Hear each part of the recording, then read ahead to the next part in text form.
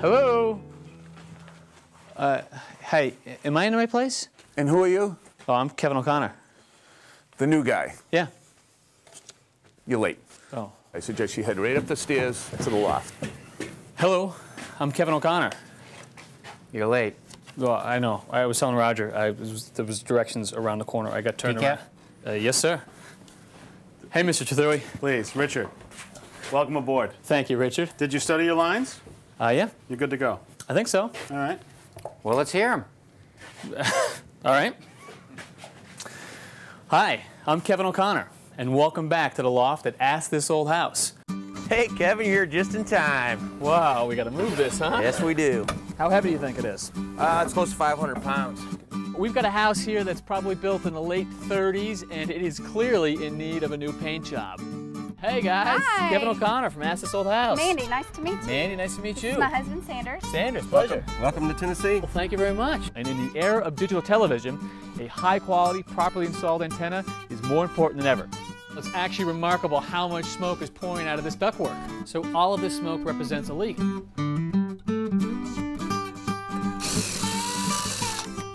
there's the wire. There you go. I'm at the Boston Fire Training Academy where I've come to learn more about fire safety and fire extinguishers. That's it. Keep going. Hey, how about That that? was your first fire. Nice job. There is no way I am using this fire extinguisher to put out that fire. We'll get these guys out of here.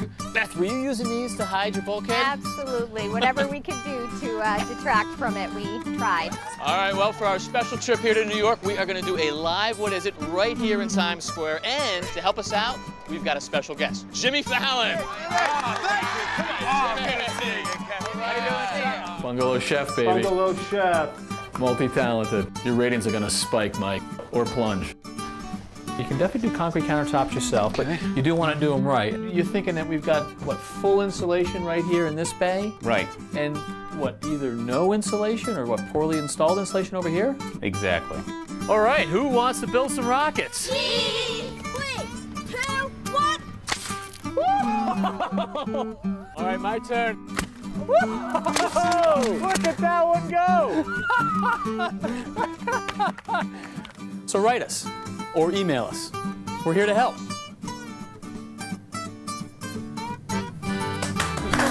Not bad. You might be a keeper.